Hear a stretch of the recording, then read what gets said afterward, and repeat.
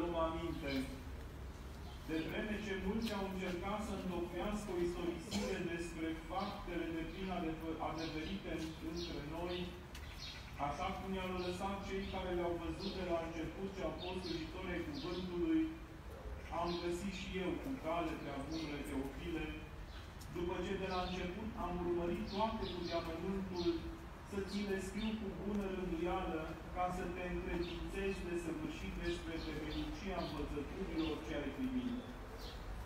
În zilele lui Iron,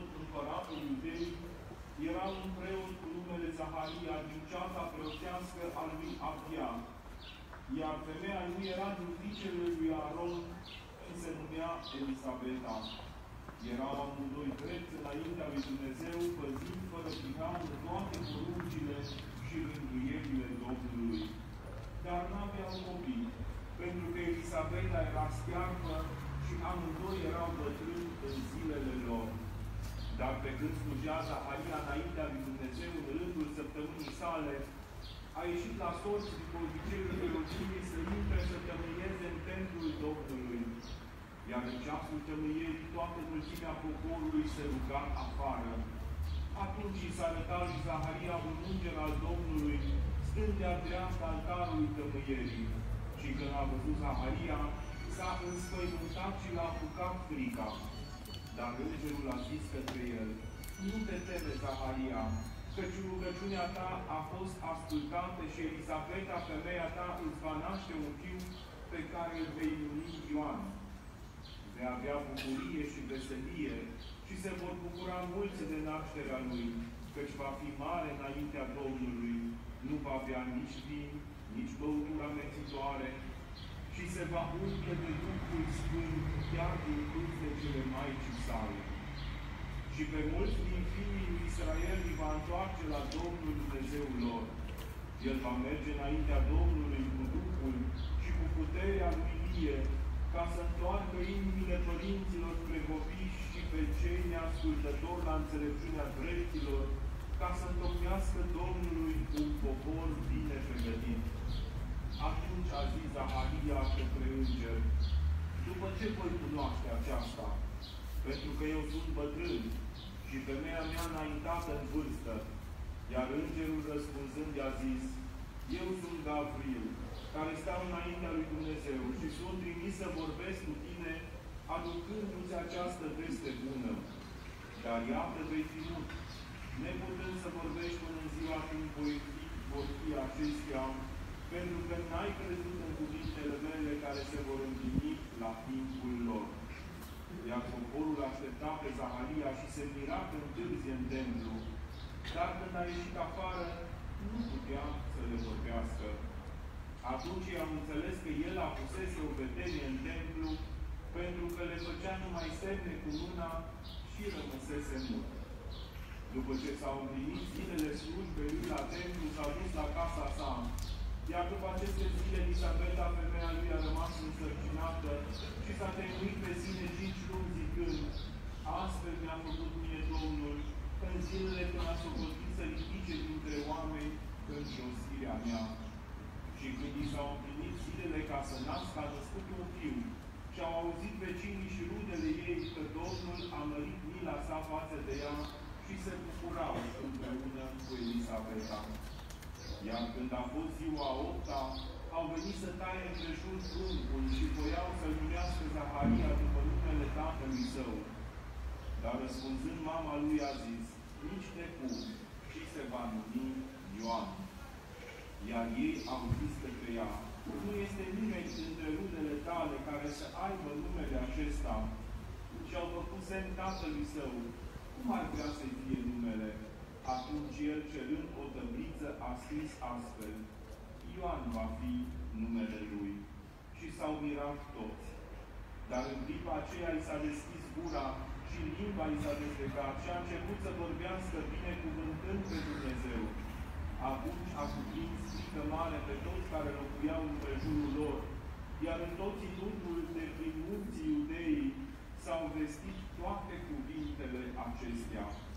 Și toți câți le-au auzit le-au pus în inima lor zicând, oare ce va fi trupul acesta?